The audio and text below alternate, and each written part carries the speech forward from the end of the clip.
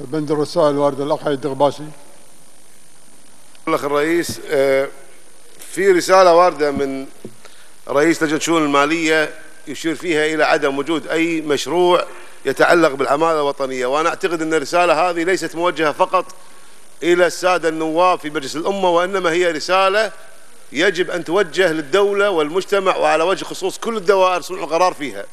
آه، الأخ الرئيس نحن أمة في خطر.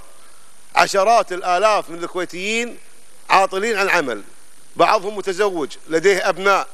عشرات الآلاف يراجعون ديوان الخدمة المدنية ولا يجدونها. آلاف أخرى من المواطنين ليس لهم ضمان وظيفي في القطاع الخاص.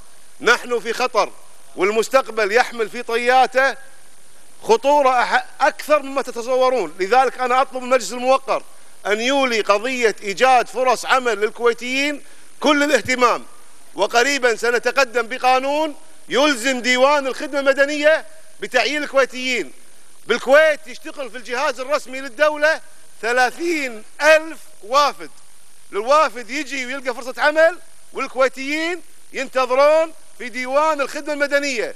تصور الهيئة العامة للزراعة تعمل دورة لمن يعمل في مجال البيطرة. اليوم الكويتيين الخريجين هالدورة الهيئة ما تعينهم. منو مسؤول عن هذا الوضع؟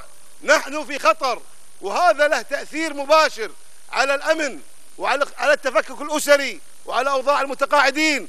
المتقاعدين الذين ينفقون على من؟ على شبان كويتيين جامعيين لم يؤمن لهم فرص عمل. مسؤولية من هذه القضية؟ أنا أعتقد كل خطب الحكومة وكل الشعارات اللي رفعتها في شأن حماية العمالة الوطنية هي ذهبت أدراج الريح لأن ماكو جدية. لذلك المجلس مطالب أن يضع النقاط شكرا أخ شك- شكرا.